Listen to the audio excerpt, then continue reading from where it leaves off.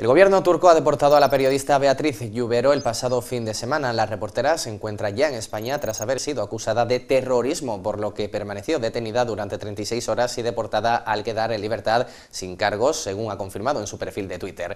La periodista española, que había estado investigando en la Universidad de Ankara, fue detenida la semana pasada por los tweets que compartió sobre el presidente Erdogan, según ha publicado el diario Harriet Daily News, quien asegura que la reportera ha escrito una tesis sobre el Estado Islámico de Irak y el Levante. La publicación sostiene, además, que a Lluvero no se le permitió ponerse en contacto con la embajada española en Ankara. La periodista ha asegurado que la información de Harriet Daily News no es cierta y ha añadido que desconoce los motivos de su detención. Asimismo, asegura estar esperando poder volver a Turquía.